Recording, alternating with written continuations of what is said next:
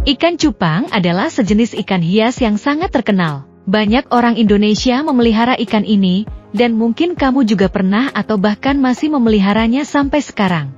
Mereka terkenal dengan warna-warninya yang indah, dan juga sifatnya yang galak alias agresif terhadap cupang lain. Kenapa ya ikan kecil yang indah ini bisa sangat agresif? Lalu fakta menarik apa lagi yang dimiliki ikan ini? Kalau kamu penasaran, berikut ini ulasan 5 fakta tentang ikan cupang yang mungkin belum kamu tahu.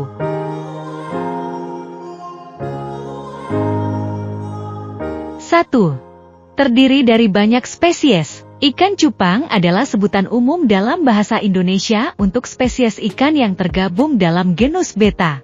Menurut laman Petsit, ada sekitar 70 spesies dalam genus beta, dan spesies yang terkenal di antaranya cupang petarung siam, beta splendens, yang berasal dari sungai Mekong dan cupang Jawa.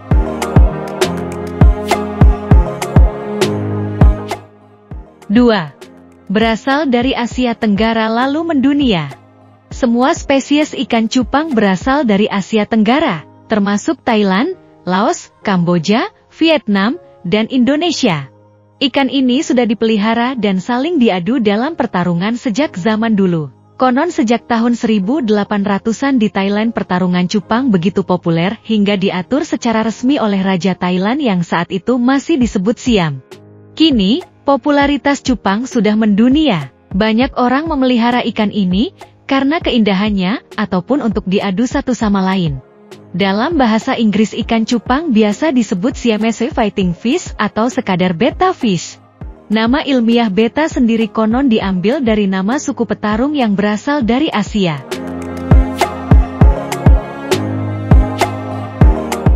Tidak. Merupakan ikan yang sangat teritorial.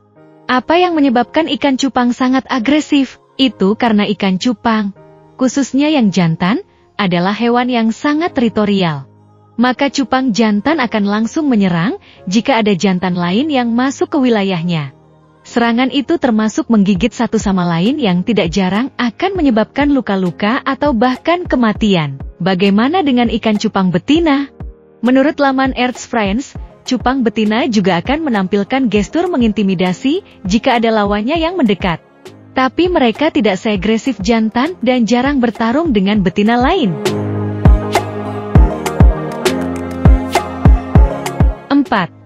Agresivitas dan penampilan ikan cupang saat ini adalah hasil perkembangbiakan berabad-abad. Ikan cupang domestik yang biasa kita lihat sekarang adalah hasil perkembangbiakan selama berabad-abad.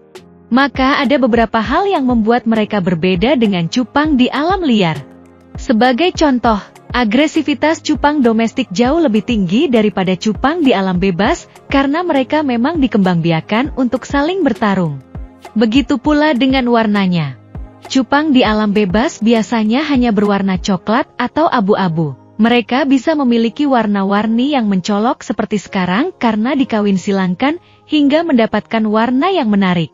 Warna cupang domestik beragam mulai dari merah, biru, oranye, hijau, putih, hingga hitam. 5. Ikan yang mudah dipelihara Alasan lain yang membuat ikan cupang jadi favorit banyak orang adalah mereka tergolong ikan yang mudah dipelihara. Menurut laman Aquatic Mag, mereka tidak perlu air yang banyak mengandung oksigen karena tidak seperti ikan lain. Ikan cupang bisa mengambil oksigen langsung dari udara dengan organ yang disebut organ labirin. Selain itu, mereka adalah omnivora alias bisa makan hewan maupun tumbuhan. Makanan mereka termasuk serangga, cacing, dan ganggang. Tapi mereka juga bisa makan pelet dan makanan ikan yang dikeringkan. Maka kalau kamu berencana memelihara ikan untuk pertama kalinya, cupang bisa jadi pilihan yang bagus. Itulah 5 fakta menarik tentang ikan cupang, si cantik yang agresif.